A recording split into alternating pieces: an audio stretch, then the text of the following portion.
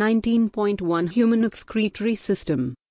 In humans, the excretory system consists of a pair of kidneys, one pair of ureters, a urinary bladder, and a urethra.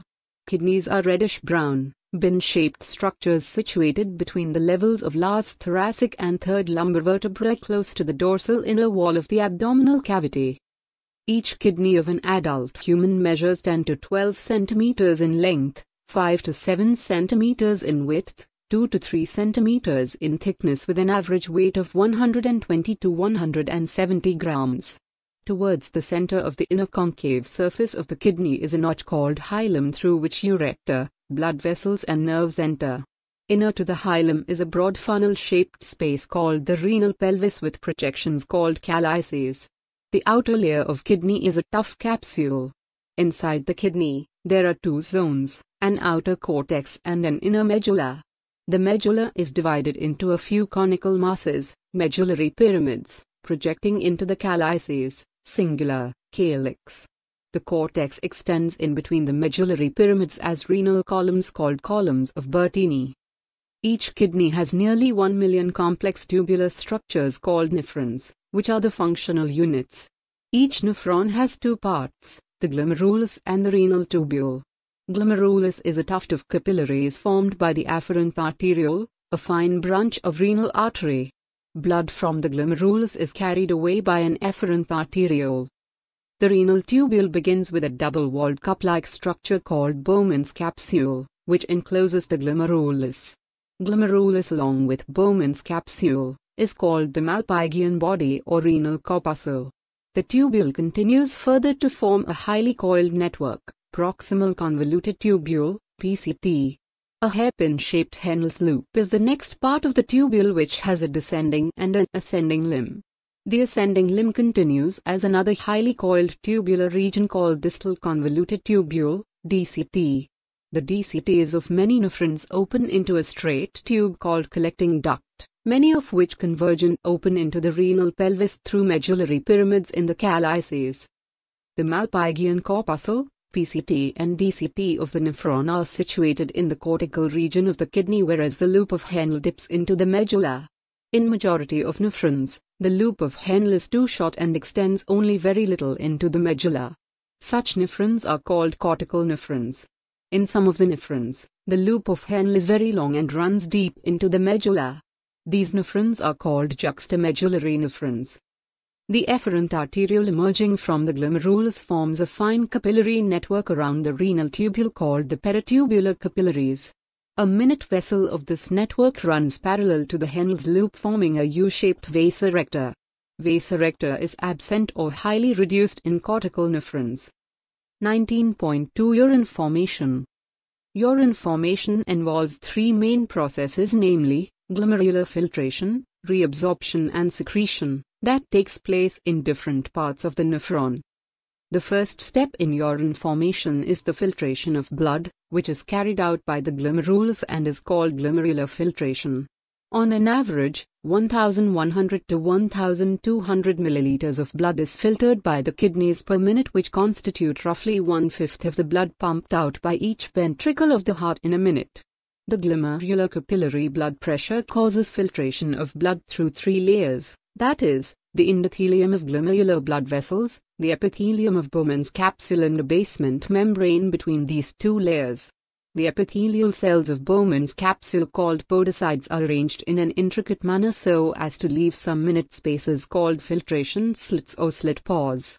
Blood is filtered so finely through these membranes that almost all the constituents of the plasma except the proteins pass on to the lumen of the Bowman's capsule. Therefore, it is considered as a process of ultrafiltration. The amount of the filtrate formed by the kidneys per minute is called glomerular filtration rate, GFR. GFR in a healthy individual is approximately 125 milliliters slash minute, that is, 180 liters per day. The kidneys have built-in mechanisms for the regulation of glomerular filtration rate. One such efficient mechanism is carried out by juxtaglomerular apparatus, JGA. JGA is a special sensitive region formed by cellular modifications in the distal convoluted tubule and the afferent arteriole at the location of their contact. A fall in GFR can activate the JG cells to release renin, which can stimulate the glomerular blood flow and thereby the GFR back to normal. A comparison of the volume of the filtrate formed per day, 180 liters per day, with that of the urine released, 1.5 liters, suggest that nearly 99% of the filtrate has to be reabsorbed by the renal tubules. This process is called reabsorption. The tubular epithelial cells in different segments of nephron perform this either by active or passive mechanisms. For example, substances like glucose, amino acids, Na+, etc., in the filtrate are reabsorbed actively whereas the nitrogenous wastes are absorbed by passive transport. Reabsorption of water also occurs passively in the initial segments of the nephron. During urine formation, the tubular cells secrete substances like H+, K+, and ammonia into the filtrate.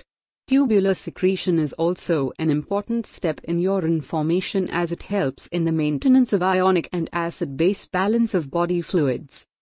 19.3 Function of the tubules Proximal convoluted tubule, PCT. PCT is lined by simple cuboidal brush border epithelium which increases the surface area for reabsorption. Nearly all of the essential nutrients, and 70-80% of electrolytes and water are reabsorbed by this segment.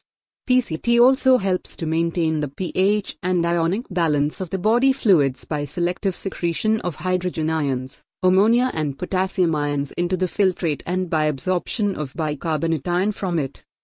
Henle's loop, reabsorption is minimum in its ascending limb.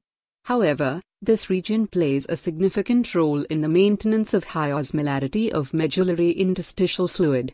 The descending limb of loop of Henle is permeable to water but almost impermeable to electrolytes. This concentrates the filtrate as it moves down. The ascending limb is impermeable to water but allows transport of electrolytes actively or passively.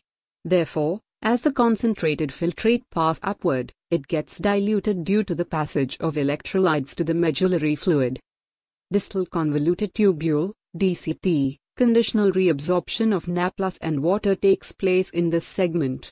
DCT is also capable of reabsorption of bicarbonate ion and selective secretion of hydrogen and potassium ions and NH3 to maintain the pH and sodium potassium balance in blood. Collecting duct this long duct extends from the cortex of the kidney to the inner parts of the medulla. Large amounts of water could be reabsorbed from this region to produce a concentrated urine. This segment allows passage of small amounts of urea into the medullary interstitium to keep up the osmolarity. It also plays a role in the maintenance of pH and ionic balance of blood by the selective secretion of H and K ions. 19.4 Mechanism of concentration of the filtrate. Mammals have the ability to produce a concentrated urine. The Henle's loop and vasa recta play a significant role in this. The flow of filtrate in the two limbs of Henle's loop is in opposite directions and thus forms a counter current. The flow of blood through the two limbs of vasa recta is also in a counter current pattern. The proximity between the Henle's loop and vasa recta, as well as the counter current in them help in maintaining and increasing osmolarity towards the inner medullary interstitium, that is, from 300 milliosmol per liter in the cortex to about 1200 milliosmol per liter in the inner medulla. This gradient is mainly caused by NaCl and urea.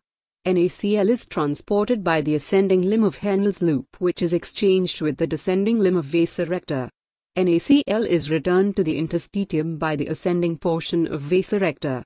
Similarly, small amounts of urea enter the thin segment of the ascending limb of Henle's loop which is transported back to the interstitium by the collecting tubule.